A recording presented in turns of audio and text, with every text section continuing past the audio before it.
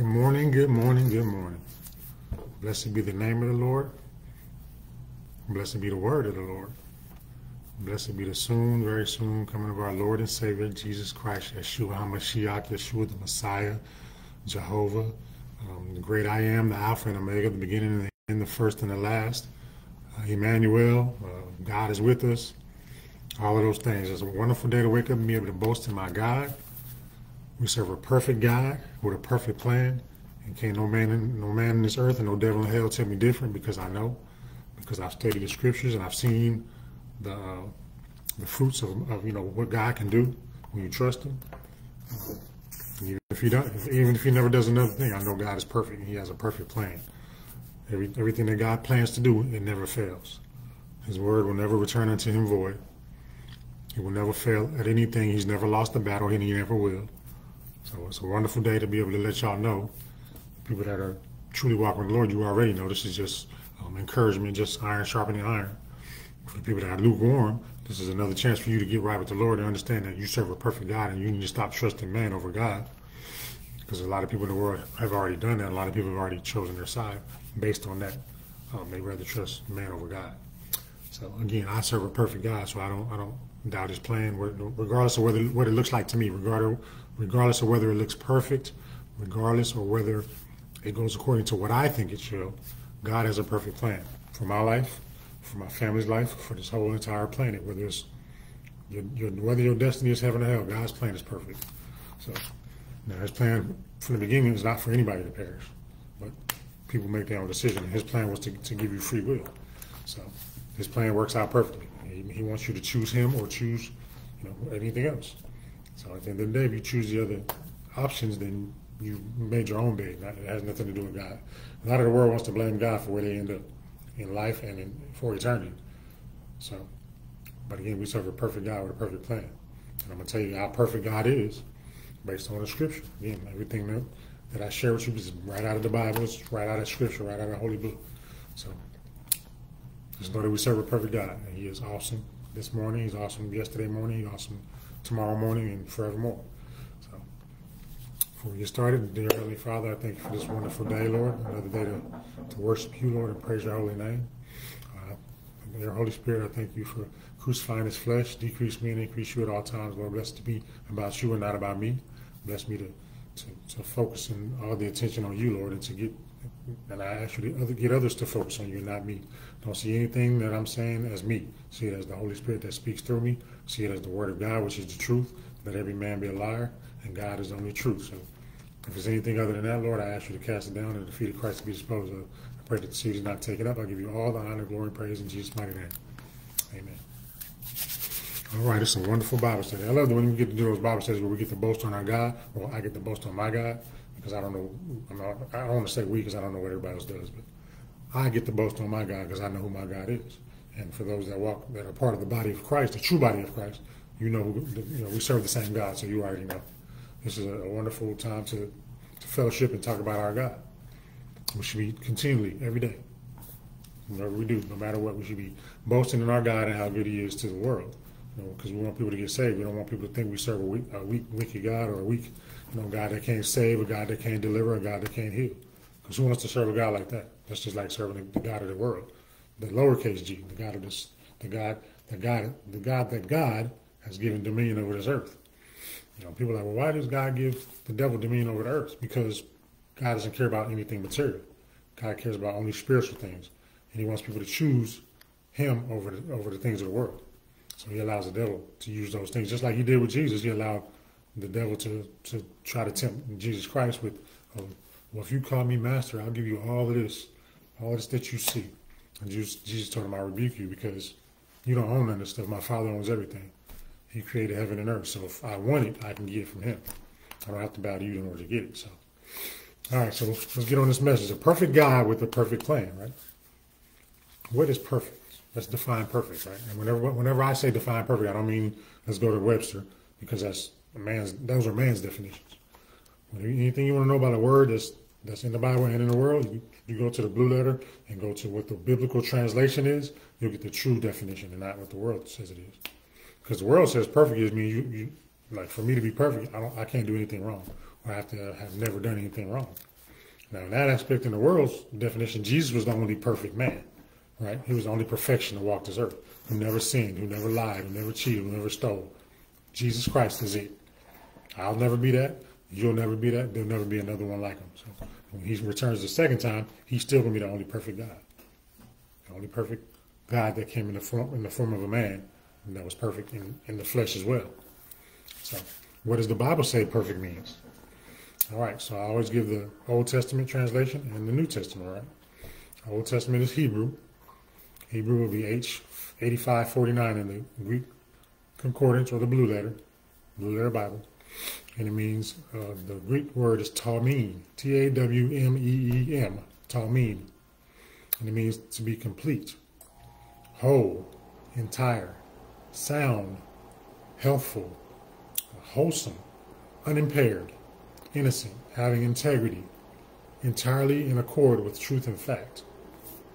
That's Old Testament, right? So New Testament would be written in the Greek, which would be G5046. And it's. Teleos. T-E-L-I-O-S. It means brought to its end, finished, wanting nothing necessary to completeness. Perfect. The, that which is perfect. So I mean, I'm, I'm gonna focus on the part where it says wanting nothing. God is in want of nothing. He is in need of nothing. God is the provider of everything, so He has everything that He needs. He is the He is the provider. He doesn't need to be provided. You understand? Y'all get that? Understand what that means? That's that's what it means when God is perfect. He's whole. He's complete. There's nothing else that needs to be added to God for Him to be finished. Now people try to add you know, things to God that they think He should do, or that He think they think He should be, but God is already complete. God was here. The Bible says He was here in the beginning, and He'll be here in the end. So I'm saying He's the only one that, that that's able to do that.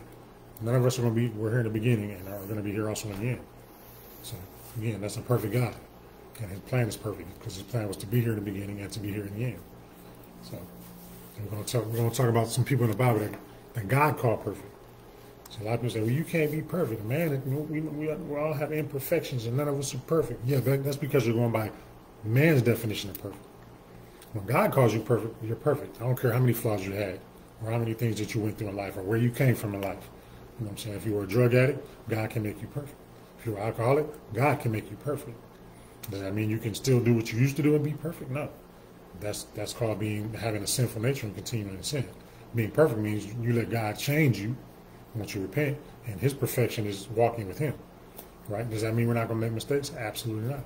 Because again, there's no such thing as a perfect man. But again, y'all witchcraft workers out, out there that like to use that uh, that saying, well, we all, we all fall short. They, they like to take the Bible and they like to twist it. The Bible says we all fall short of the glory. But they use that as a, a, a license to sin, right? But we all fall short. So if I smoke a blunt every now and again, God will forgive me. Uh, the Bible also says God examines the heart and the reins of men, right? So he knows what your heart and what your intentions are. So if, you, if your intention is, I'm going to go ahead and sin and God will forgive me, that's totally different than you saying, okay, you waking up one day and you know you've been delivered from anger or whatever, and then one day you, you just happen to be one of those days where you let your flesh take over and, and your coworker gets you upset. It's not something that you do all the time. It's not something that you know that you plan to do, right? That's the, the key word is their plan. The plan is we're gonna go over the definition of that also, but the plan is something that is devised, something that is intentional. Like if I plan to go hook up with a, a girl tonight, God is, going, is not going to see that as an accident, right? Because it was planned. It's just like it's just like if you look at the judicial system. The ju- judicial system is set up. They took their structure right out of the Bible, right? So when they charge people with a crime, like let's say for example murder, they charge somebody with murder, right? There's there's there's homicide, there's pre- premeditated murder, there's uh, manslaughter, which is not premeditated. So if anybody knows what premeditated means, that means hey, I had time to think about it. I had two hours to think about it if I'm gonna go kill this person. Homicide or you know, homicide could be something okay, in the act of a crime, or let's say for example you get angry and at the moment you decide to kill somebody. Uh, that's kind of the same. Manslaughter is something okay, you you're doing something and, and you know, you're being negligent or reckless and, and cost somebody their life.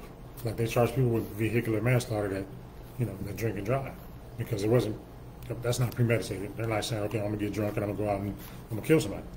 No, they're like, okay, I'm, i can drink, I can handle my liquor, so boom, I do it all the time. I, I'll go to the bar, drink a few, and I'll drive home. and then they get an accident, God forbid, and kill somebody, right? That is not premeditated. That is why they get charged with manslaughter, manslaughter instead of premeditated, premeditated murder or capital murder. Capital murder in a lot of states means you can face the death penalty.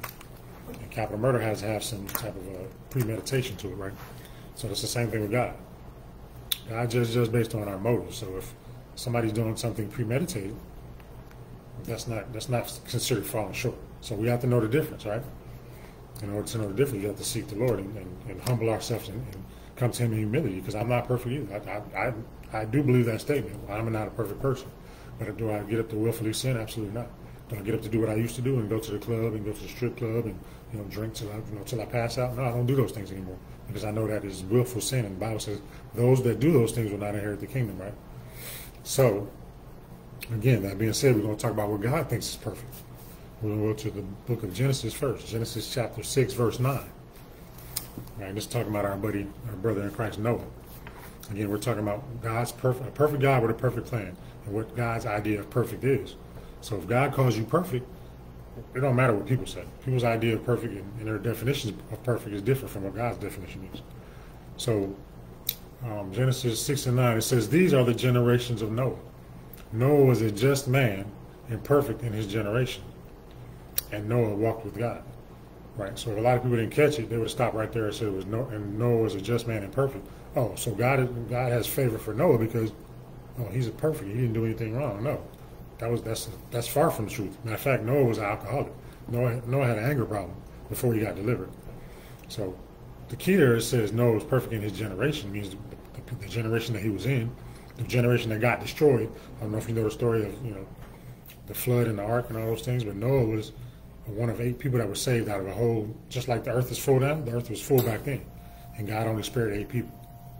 Think about it. So it's saying Noah was perfect in his generation. First, you have to understand the context of where, where you know, where, where that's coming from. Back in Noah's day was, was the time where the Nephilims came down and they, you know, they entered the, the, the daughters of men and they had Nephilim children, which were not human. They were like half human, half, you know, angelic or whatever and those were considered. God didn't consider that His creation because He didn't create it. He didn't tell them to go, you know, basically reproduce with humans. So God destroyed the, the whole generation based on most of the generation their their you know uh, genetic makeup. I don't want to say the word because last time I said it, they, they uh, banned me on Facebook for a while and, and on YouTube for saying the word. So let me write it down. Let me see. We're gonna be smart about this, right?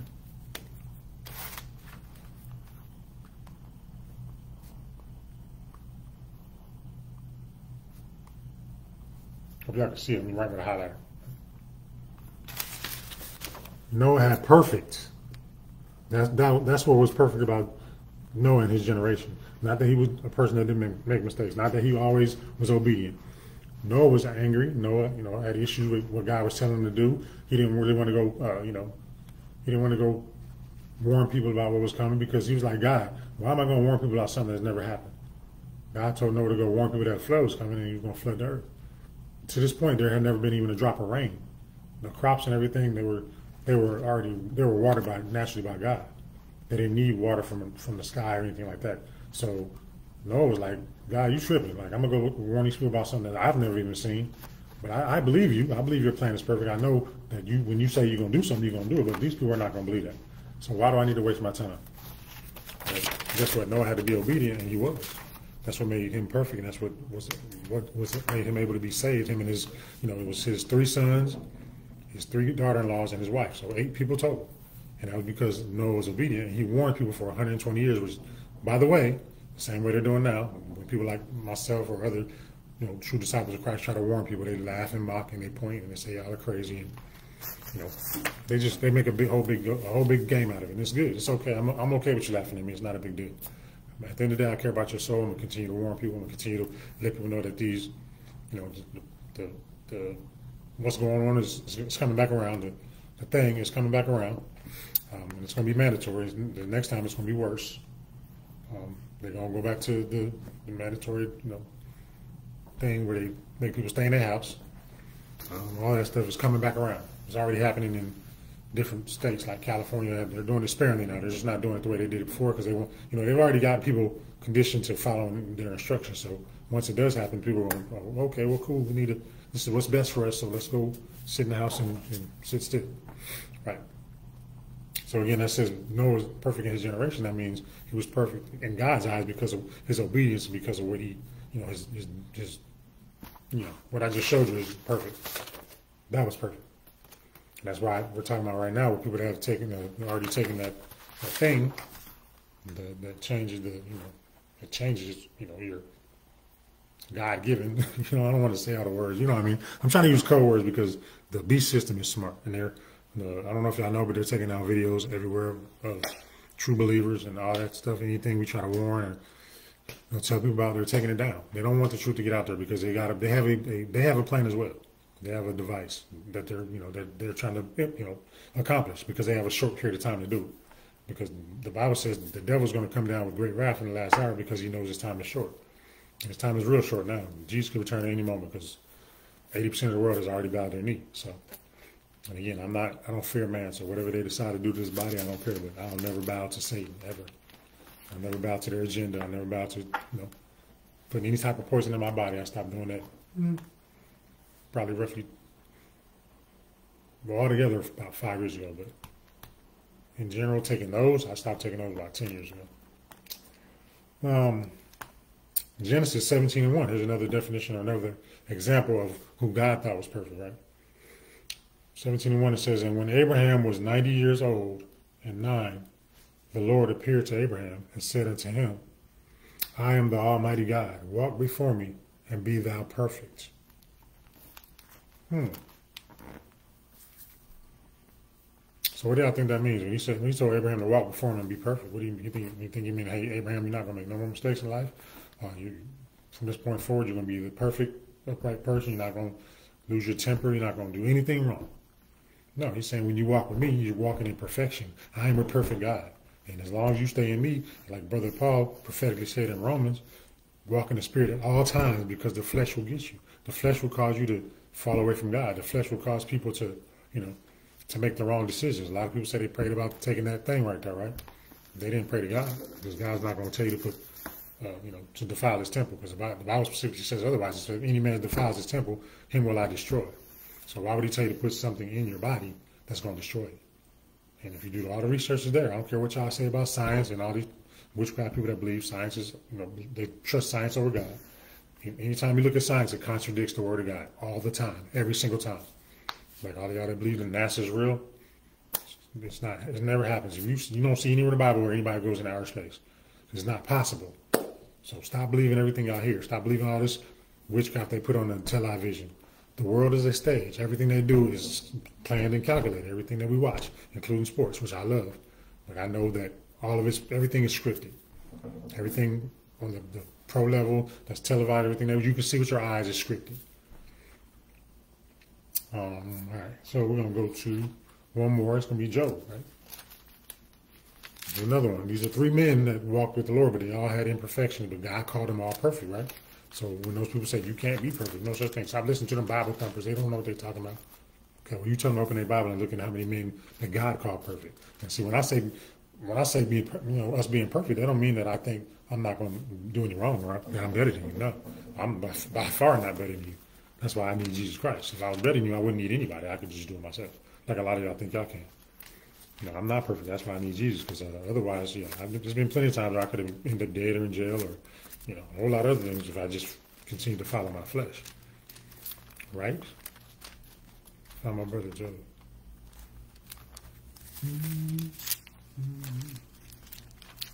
So we're talking about being perfect, right? Perfect in all your ways. When the ways a man's ways please the Lord, then you are you consider perfect. That's why all these men, God called them all perfect, right? Because Job, if y'all know the story of Job, God uh, God allowed Satan to test Job because he said, basically he tried to bet God. He's like, I bet you if, uh, you know, I'm just paraphrasing. He didn't actually say that. So for all y'all, you know, try to be theologians that want to be try to be politically correct, I'm just using this as like an example. It's not actually in the Bible. He didn't actually say, I bet you. He was just saying, telling God, I know that you don't truly think this man is going to serve you if you take everything away from him, do you? And God was like, I know, I know, I, created him. I know he will. So basically, long story short, he allowed the devil to, you know, test Job to take everything that he had, including his health. Job was had mad riches. He had a wonderful family. He had all the land he could, you know, ever want. Um, he had everything. God allowed the devil to take everything away. And he said, I bet you he'll curse you. And Job said, you know, God, though you slay me, yet will I trust you. Even when he was at his lowest point, he had, they took his health, they took his money, they took his family. His kids died tragically. His wife died. Um, his whole first family was destroyed. Right? So Job had to make a choice, right? He, even Job's wife was like, why don't you curse God and die? Like when he was sick, he was like, you speak like a foolish woman. Like, why would I turn my back on the Almighty God? I don't care what I don't care what I go through in life. I know I serve a perfect God, and my destiny and my and my main goal is not to be prosperous here on earth. Even though God will allow that to happen, my man goes to inherit the kingdom, which that's eternal prosperity, right? It means we get to inherit the, the true land. When the Bible says the meek shall inherit the earth, it's not talking about this physical realm that we live in now. It's not talking about this wicked world. Nobody wants this. I don't want it. I don't know about y'all, but I want the, the, the new Jerusalem, the new kingdom that's coming. That's what God is talking about. He's not talking about this earth that you see, but you got the lukewarm out there that believe that. Oh, the Bible says the meek shall inherit the earth. So I'm about to get all this property over here that the you know this man own all these rich people. We got, we're about to get all the stuff they got. I don't want the stuff they got. They can have it. Because the Bible says it's, it's, easier for a rich, it's easier for a camel to enter through the eye of a needle than it is for a rich man to enter into the kingdom of heaven. And that's right there lets you know that a lot of rich people are going to perish because of their money because they trust their money, not because money's evil. Money's not bad. God created money as well, and He created it for good use. But you got people that take that and make it and turn it into an idol, turn it into a god, and they trust the money over God. And you got all these wicked people that, that are, know, the, the Bible, the Revelation calls them merchants. And if you look at merchants, those are the people that have the money, the people that have the power, the people that are making all these decisions and doing putting all this wicked stuff out there, like these. Uh,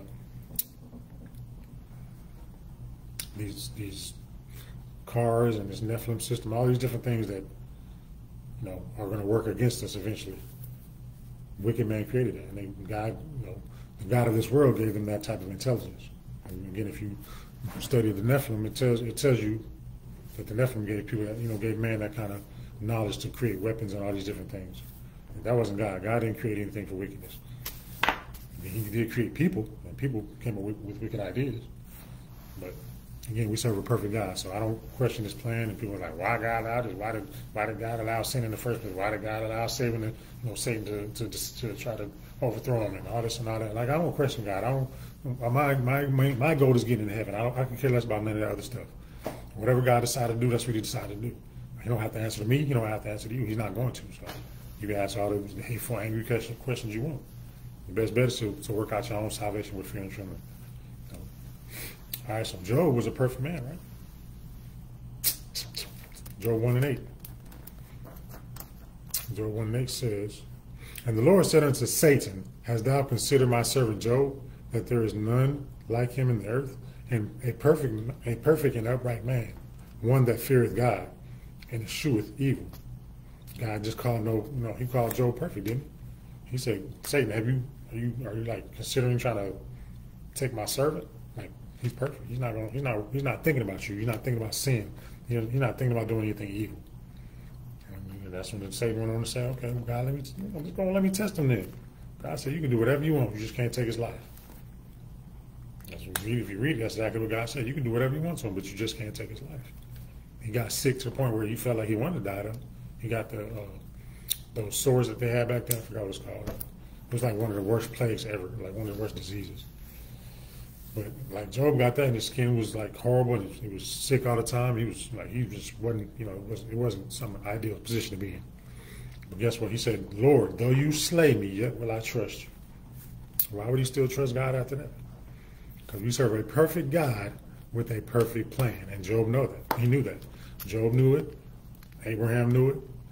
Noah knew it. All the disciples before us, they all knew it. And none of them would reject God. Even the 12 disciples, when they walked with Jesus Christ, Jesus said, and uh, was it John 6 and 66, when John, people don't realize there was more than just 12 disciples. There were probably upwards of probably 5,000 disciples in the beginning. Everybody wanted to follow Jesus until he got rid of You see what I'm saying? Just like now. You got all these churches. You got a church on every corner. You got 50,000 denominations. You got everybody say they Christians. Everybody follow Jesus Christ until they get real.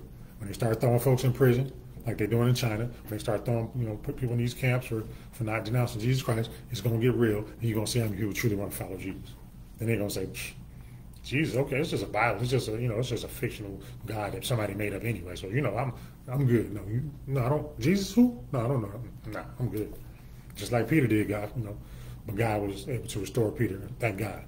Um, but Peter did deny Jesus three times, and he told him he would. Just like he said that many people won't deny me. He said there's gonna be many people that are gonna deny me. and he said, if you deny me before man, I'll deny you before my Father which is in heaven. And that was for this generation. Peter was blessed to be able to be restored. I don't know if Jesus is going to do that in the end because he said otherwise. So I personally don't want to risk it. So I ask the Lord to, to fill me up every day. If, if I got to go to prison, if I got to go, you know, I got to give up this, this job, this life, whatever I got to give up for Jesus Christ, Lord, I ask you to fill me up until when it's time to make that decision because you can't make that decision in the flesh, not the right one. You'll make the wrong one. I'll, I'll make the wrong one. I'm going to let me speak on me. Let me not keep saying you because it seems like I'm being accused, you know, accusing people and then people get all offended. But let me say, let me use me. I'm, I'm, I can't make without Jesus Christ. I'm not going to be able to not deny Jesus if I'm in my flesh. Without the Holy Spirit, I will not make it. So, again, you can take that and apply it to your life if you want to, or you cannot. However you want to do it. All right, so that was three Old Testament examples of the word perfect, right? So Matthew 5 and 48. You know, hurry and get to the next section because I got to, you know, I want to go over the word plan as well. You have a perfect God with a perfect plan. So Matthew 5 and 48. Mm-hmm. Thank you, Lord, for this word. I always thank the Lord for the word. That I, know, may never know when the time is when we're not going to have access to it. Matthew 5 and 48. Right here it says, Be ye therefore perfect, even as your Father which is in heaven is perfect. Who's he talking to? Like that, you know, the pastor just told me I can't be perfect. There's no perfect man. Everybody falls short, right? Hmm. Be ye perfect. Be ye therefore perfect, even as your Father which is in heaven is perfect.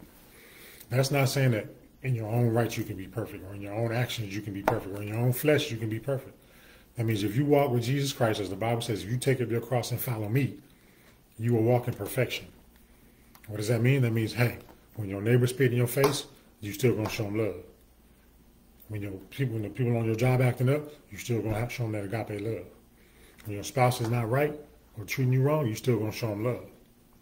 Now, does that mean God gonna let you be a fool and get run over? No. There's a difference between being foolish and having agape love. God will, will distance you from people, and as on the way out the door, you show them the love of the Lord. You're not gonna He's not to tell you to stay in an un, spiritually unhealthy situation first and foremost, and then physically as well. So God is not going to tell you to stay in that situation, but again, He's not going to tell you to retaliate either. He said, "I am." He said, "Vengeance is mine; I shall recompense; I shall repay." So you don't have to go seek revenge for your your daddy not being with you in your life, is you know, growing up or whatever. You don't have to go seek revenge because your neighbor ran over your sprinkler head and now you laughing, ha ha. You don't. That's not your job. God said, "I am is my revenge. I will re, I will repay." You don't have to worry about that. All you got to do is show the love of the Lord, show love your neighbors, love your enemy, and let me do the rest. First and foremost, we want to pray that they get saved. I don't ever want to pray that somebody be get destroyed and perish or go to hell because I don't want that prayed over me, and I don't want that to be my destiny. So I, I don't even want my worst, or somebody that considers themselves my worst enemy. I don't even wish that on them. I hope that they get saved, and I pray that they make it in one day. I pray that we all get to see each other. And, you know, we, uh, you know, excuse me, when we send ascend to heaven and we you know, meet up in the clouds, as the Bible says we will do, whether it's after you know after being martyred or whatever. All of the all of our spirits are going to meet up in heaven when we, for those that are truly serving the Lord. So I, I don't wish anything other than that for my even for my worst enemy. But again, at the end of the day, that's not my decision. It's their decision, what they choose to do, and it's God's decision, what He chooses to do with whatever they do. So I'm going to still show the love of the Lord because that's my job. My job is not to to pass unrighteous judgment. I'm not going to say pass judgment because you know you got lukewarm out there to say we're not supposed to judge either. The Bible specifically says use righteous judgment. So if it says use righteous judgment, that means you're supposed to judge because they judge every matter. The Bible says, why do you not judge every matter? The Bible says, why do you not judge people's fruit? When I judge people's fruit, that's not judging people. That's judging your fruit. If somebody's judging my fruit, that's not them saying, hey, I'm going to hell. No, that's saying, hey, if you don't stop what you're doing, the Bible says you're going to hell, not me. So maybe maybe maybe people need to throw that in there so that way it doesn't look like we're sending you to hell because we don't have the power. I don't have no kind of authority to put you in a hell or, or, or to keep you out of one. The only thing I can do is to keep you out of hell is to give you this word.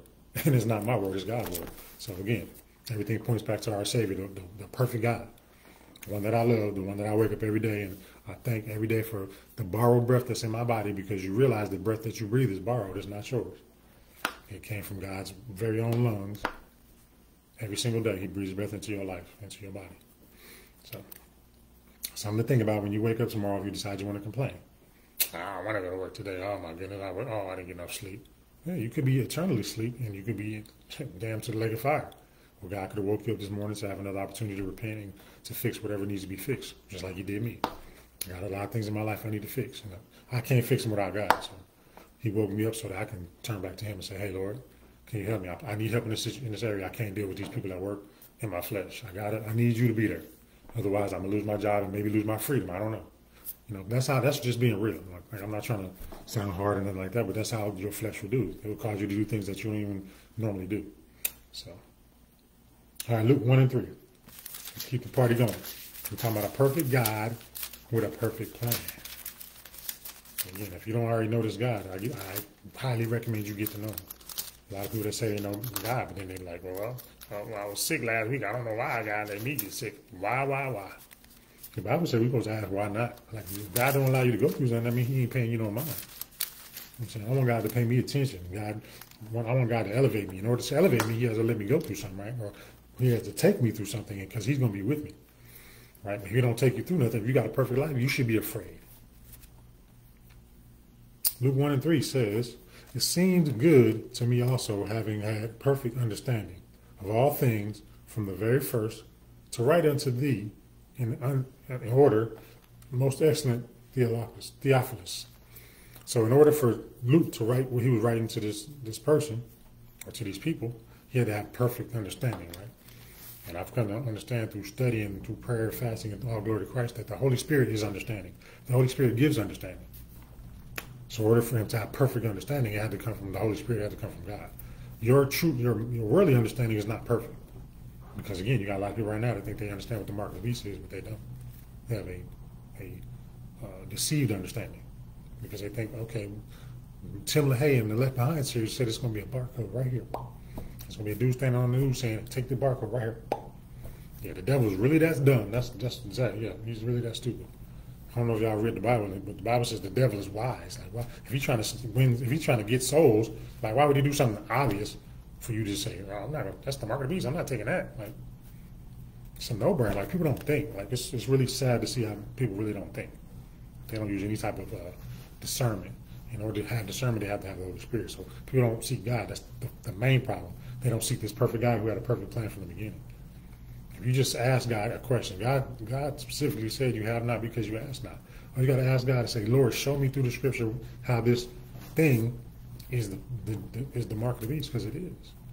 People keep saying, y'all know, y'all don't know what y'all talking about. This hadn't happened, and we haven't seen this happen yet. And nowhere in the Bible does it say every prophecy you're going to be able to see. Prophecy started in the beginning when Jesus walked the earth. Did y'all know that? And again, that's all glory to Christ through the Holy Spirit, through my, me studying and through you know, other elders that I've learned from that truly walk with the Lord. Because you can tell by people's fruit if they truly walk with the Lord. And you can tell by when they, if they, if they're a truly prophetic person or their prophecies come from God, because they are, they will come to pass. God's prophecy will never, never be a lie. If you got a prophet that says something will happen, it doesn't happen, it didn't come from God. And the brother, the, the one brother in Christ that I can, that I can, you know, refer to that I'm talking about, I trust, we've we've been watching him for eight years and everything that he said that the Lord showed him has come to pass. In 2015, he talked about that thing right there being the being the, the fall of the whole the whole earth, the whole world. And what is this? What is this thing doing? It's all all around the earth. people being deceived, thinking that it's something good, and they, they're lifting it up as the savior. If you go look at all these different, um, they've done ads and commercials saying that it's the Messiah, it's the only hope, it's the it's the Savior. Like, are you serious? Like all these things that are these are names that belong to Jesus Christ. These are names that belong to Almighty God, right? But they've given it to a man-made chemical. But again, you won't get people to see understand that because they don't they don't have the spirit of discernment. They don't walk in the spirits, so they think they're all conspiracy theorists because all this stuff is a coincidence. There's just this stuff is nothing that they're doing. It's not calculated. It just happened so happened that they want to use that terminology. They want to say Messiah because they just feel like saying it. They're not mocking God at all. Yeah. All right, so last one is going to be Luke six and forty. Man, I, I pray this blesses somebody, man. I know ninety percent of people probably gonna scroll right by and just laugh and oh there you go trying to make get more views and all that kind of stuff. If you look at all my videos, I get I get like three, four likes, and I don't really care. I'd be excited to get one because I mean one person paid attention to the message that came from Jesus Christ, not from me. The message that came from the Word, and they're giving God the glory. That's that's all I care about. I don't care about seven thousand followers or five hundred stars. I don't care about. I don't put none of that stuff out there. You don't gotta give me no stars. I don't need no money. I don't want nothing from me. I want you to give your life to the Lord. That's it. Period. Dot. And I don't even have to see that. I mean, that's something that I don't have to see. I'm just, I just pray that it happens. Um, Luke 6 and 40 says, the, the, the disciple is not above his master, but everyone that is perfect shall be his master, shall be as his master. Here you go with this perfect stuff again. How do you, why does he keep saying a person can be perfect? I'm not, I'm not getting the understanding because my pastor said I can't be perfect. My pastor said he's sleeping with the lady next door because he's not perfect. My pastor said I seen him in a strip club. He's not perfect. So what is he saying that we can be perfect? Because I love my pastor. I, I, I, worship him and I follow him. I don't follow Jesus Christ. I follow my pastor because he knows everything. But Jesus right here, this is in red writing. That means Jesus said it right. Jesus said the disciple is not above his master. No, we are not above Jesus Christ. But everyone that is perfect shall be as his master. Hmm. So we, we said we're a perfect God with a perfect plan, right? So when you follow in God's footsteps, or you try to walk as Jesus walked, the Bible says we, should, we ought to walk in, you know, walk in the likeness and image of Jesus Christ. We're created in God's image. We ought to be like Him. We ought to, He set a perfect example of how to be perfect. Will we do it to His His level of perfection? Not, not even close. But we can be perfect because the Bible just I was giving you six examples, right, of how God called men perfect. And it doesn't that didn't mean that they didn't make any mistakes. That didn't mean that they, you know, walked this earth like Jesus Christ and didn't lie, didn't cheat, didn't steal, didn't ever drink alcohol. It just said they went through those things and they were delivered. And their perfection came when they gave their lives to Jesus Christ, right? And they walked with a perfect God who has a perfect plan.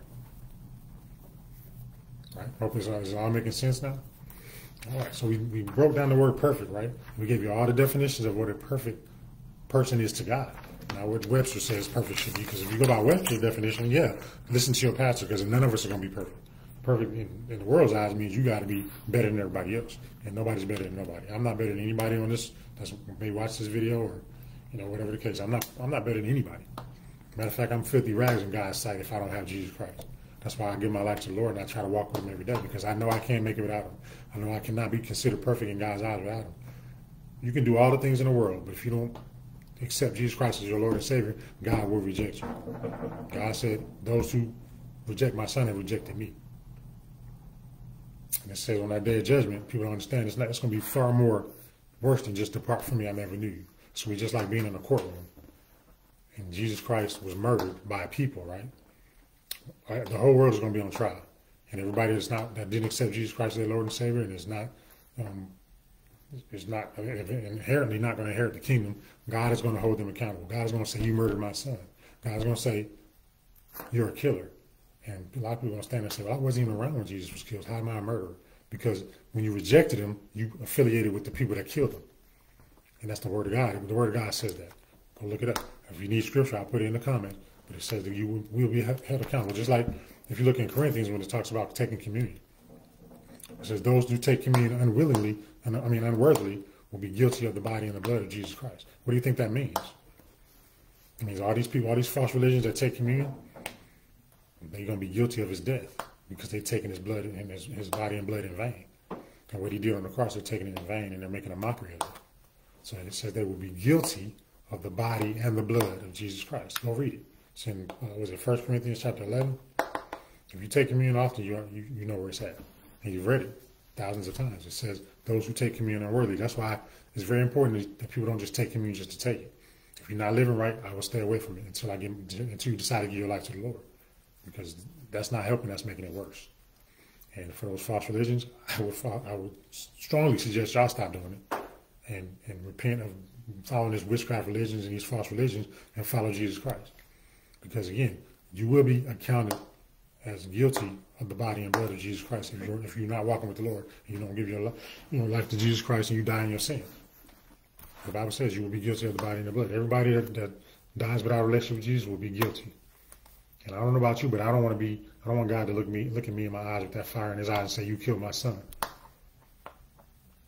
And I'm not a murderer. I never have been. I'm, all glory to Christ. I, even when I was in the streets, I've never had to kill anybody. And I thank God that I never had to because that's something that you still got to, even if you give your life to the Lord, it's like you got to think about that. You took somebody's life. But you can kill people physically, I mean, spiritually as well. So just remember, murder is not just physical. There's physical. The Bible says spiritual murder is actually worse. So for those people that are atheists and they decide to make their children atheists and they kill them spiritually and they they deny them the opportunity to have a, a relationship with Jesus Christ and those kids die in their sin, God's going to hold you accountable. You're guilty, of, you're guilty of the body and blood of Jesus Christ and of those kids that, that, that left this earth without relationship with Jesus because you didn't teach them right. So this thing is way deeper than people want to understand. It's not just about you making it your own choice. Yeah, you have free will. If you don't want to walk with the Lord, don't. Hey, but don't convince others not to. Because when you do like the Pharisees, you you cause other people to stumble. Like Jesus told the Pharisees, you it's not just about y'all. Y'all are causing other people not to get in. And that's the word. That's a worse, a more worthy punishment than even you just making a decision for yourself. That's going to be enough. People will go to damn, get damned to hell for a decision they make about their own salvation, but you're causing other people not to make it in too. And that's why I got that. That's why these pastors are on, a lot of that's in, the, that's in the lake of fire. All, a lot of them already. A lot of them are, are headed that direction. And that's not again. That's not me judging. That's what the Bible said.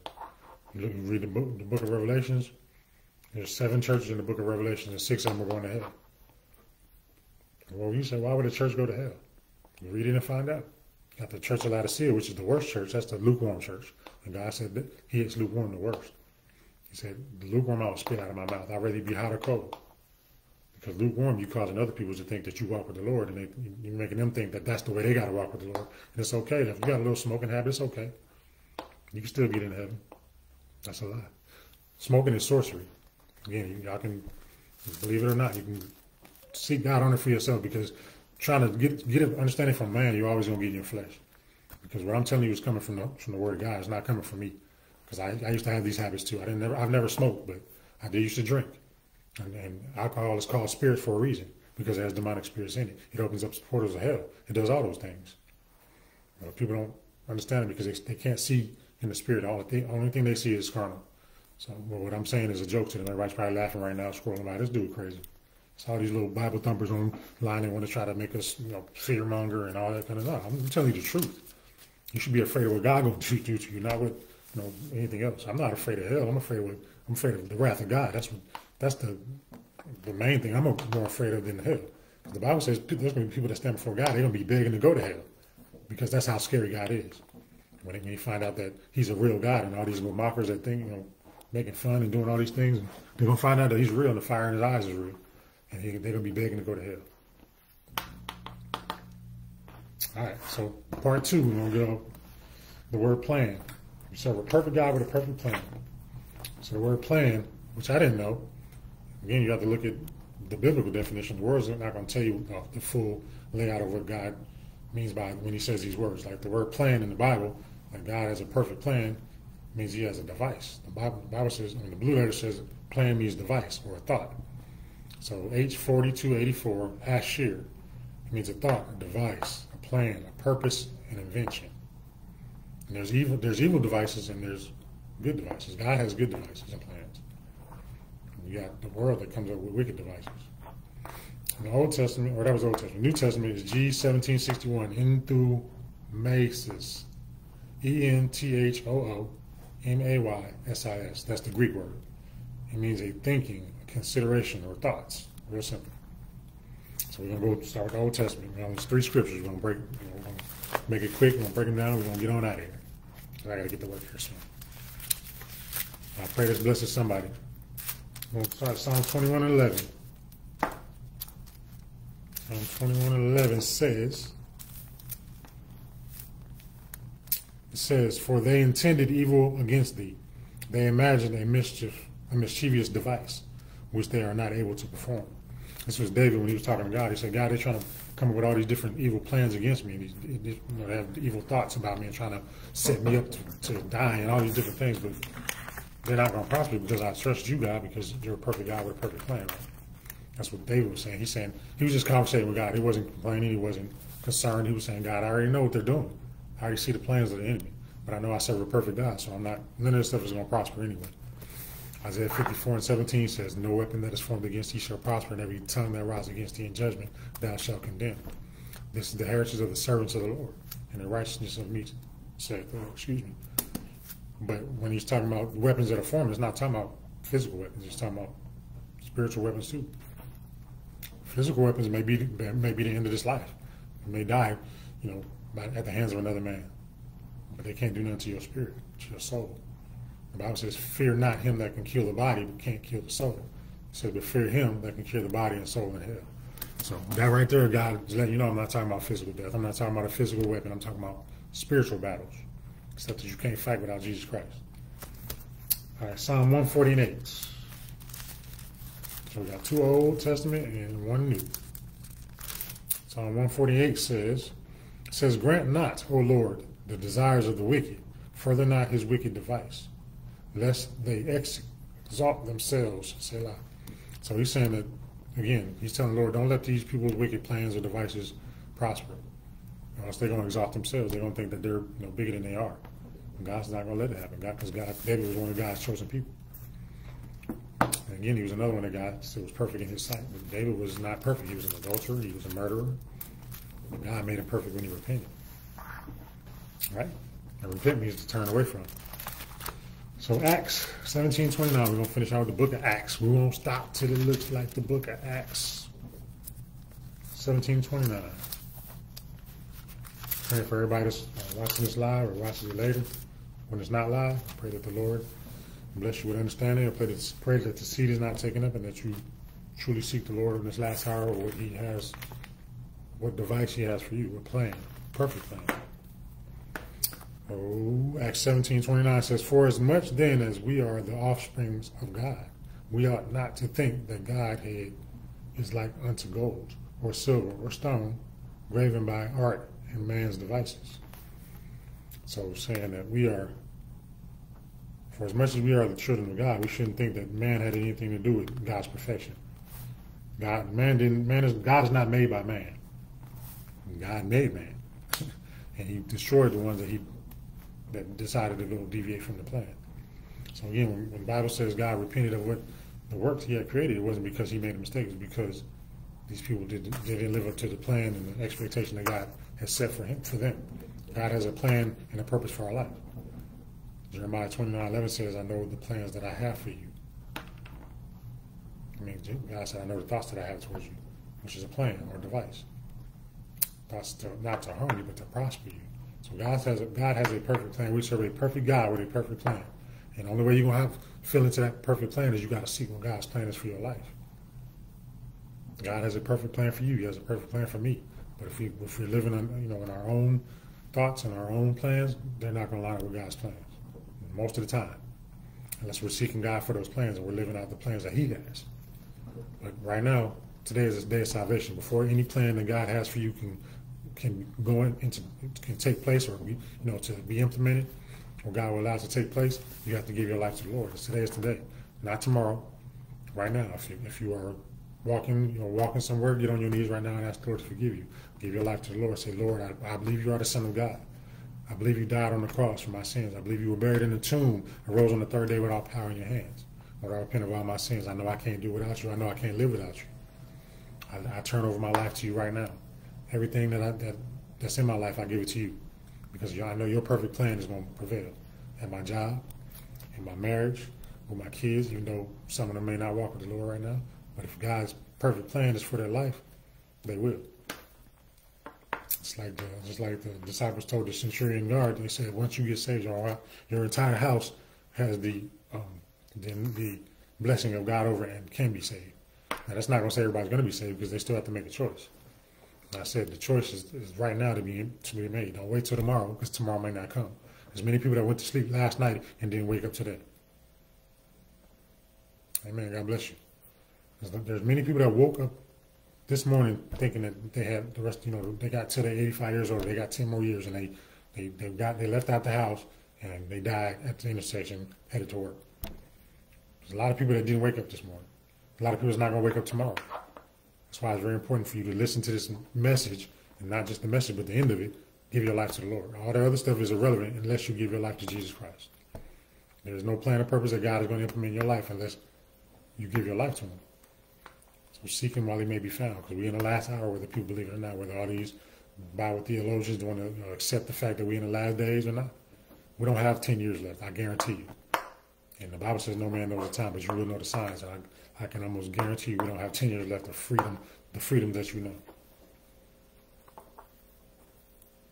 I guarantee you don't have, we don't have time to play with God. We never did, really. But I'm telling you now more than ever, ever God is turning people over to reprobate minds, people dying in their sins. I'm seeing all these rappers in the, in the drill scene that's dying these heinous crimes, dying in their sins, and you know, digging, because they're digging up people's graves and they're mocking people, people's deaths and all those things. Like all that stuff is it's time for all. It's time to give your life to the Lord and repent and say, Lord, I love you. I want to live for you, whether the world accepts you or not. Because the Bible says many are going to choose the path of destruction. Many are going to hell. There's going to be a remnant that gets saved, and I want to be a part of that remnant. I don't know about you. I don't care about being popular anymore. That stuff died back when I was in high school. I don't care about none of that. I don't care about having friends. I love everybody, but we don't have to be friends. As long as you give your life to the Lord, we can be brothers and sisters in Christ. And even then, we don't have to we don't have to physically be in contact or anything like that for me to, to still love you. You know what I'm saying? But once I know that you gave your life to the Lord, that's all that matters to me. And even if I don't know, if you gave your life to the Lord, that's all that matters. And I don't mean these lukewarm prayers that people say, "Oh Lord, forgive me." Uh, yeah, all right, I repent. Let me let's go to the club. We'll get some drinks, man. I just gave my life to the Lord, so let's let's toast, let's cheer. So we'll get some crown and coke, and we good. No, that's witchcraft, that's sorcery, that's uh, deception, that's deceiving yourself. There's a lifestyle that we have to live. It's a lifestyle, it's a perfect lifestyle because we serve a perfect God with a perfect plan. And we walk with a perfect God. There's no way we can't walk in perfection. So I love y'all. Blessed be the name of the Lord. Blessed be the word of the Lord. Blessed be the soon coming of our Lord and Savior Jesus Christ. There's only one God. I don't care what all y'all say about respect all these religions. No. Paul didn't respect all these other false religions. Peter didn't do it. Uh, Jeremiah didn't do it. None of the true disciples respected other false religions because that's worshiping a false God. I will tell you I love you and Jesus Christ love you. You need to repent and get out of that witchcraft and before it's too late. I will tell you that. I'm not going to respect a, a Buddha doll. I'm not going to do it. I'm not going to respect a, a, statue. I'm not going to respect a Mary, people that worship Mary, because Mary is not a, a bridge to Jesus Christ. Jesus said, I am the only way. Jesus said, I am, I'm, a, I am God all by myself. Jesus said, I don't need a mediator. I am the mediator between you and God. So why do I need a mediator between me and you? You see what I'm saying?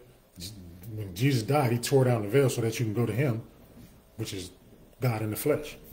You can communicate with God yourself. You didn't need a high priest. So why do we need Mary? See what I'm saying? This, and that's one of the biggest deceptions is the, is the Catholic religion. And again, I love you to death. I love all of you, and I pray it's not too late.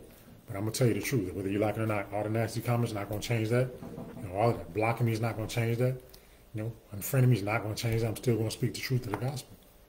And nowhere in the Bible just say you're supposed to respect our religions. Don't say you're supposed to call out false religions. You're supposed to call out false gods, because God's gonna do it. And anything that Jesus Christ did or the disciples did, that's what we're supposed to do. All these lukewarm churches nowadays saying that, well, that was the Bible days, and you're not Paul, and you're not Peter. No, they were still disciples of Christ, and they followed Jesus Christ, his instruction. And we're supposed to do the same thing. It hasn't changed. Jesus went into the, to the synagogue and was flipping over tables because they made his um, his father's house a den of thieves, which means they were selling merchandise, just like you go all these different stores like Mardel's. And again, no judgment being passed. I'm just telling you, if you walk into Mardel's, they got a whole Catholic section. They got a whole Buddhist section. They got all these false guys in there mocking Jesus Christ. But you selling all that merchandise, and then you got a nerve to say you're a Christian store. That's a lie. You're not. You're a merchandise. You're a merchant. That's what you are. And you're selling merchandise for money. Period. You don't have any loyalty to anybody. You don't. You're not loyal to any of those religions, whether they're false or whether it's the true one and only true living God, Jesus Christ. You're not. They're not loyal to any of that. They're loyal to that money. So again, don't let that deceive you because when we go, we, we do shop in Mardel's. And when we go in there, we tell them the truth too. We tell them y'all need to repent and all this witchcraft in here. That's what it is, witchcraft. It's not. It's nothing. There's no. There's no Jesus on the cross anymore. I don't know why y'all selling that garbage anyway. Jesus came off the cross a long time ago, and he's not getting back on it. Trust me, he's not. He died once. The Bible says he died once for every man's sin. That's it. He's not dying again. Your best bet is give your life to him before you die. Because then people are going to find out that everything we're saying is the truth. And we're not crazy as you think we are. But again, they call Paul crazy too. They call Peter, so he was, they said, Paul was beside himself. You know what that means? You're beside yourself. Back then, that meant you're crazy. That's just another way, a very another polite way of saying somebody's crazy. He's beside himself. Anyway, they can call me whatever they want to call me. As long as Jesus call me perfect, I'm okay with it. I love y'all. I always love y'all, regardless of whether I accept the truth or not. The ones that are truly walking with the Lord, I love y'all. Continue to preach the gospel. Continue to walk, work out your own salvation with fear and trembling. Blessed be the name of the Lord. Blessed be the word of the Lord. Blessed be the soon coming, soon and very soon coming of our Lord and Savior Jesus Christ. Shalom.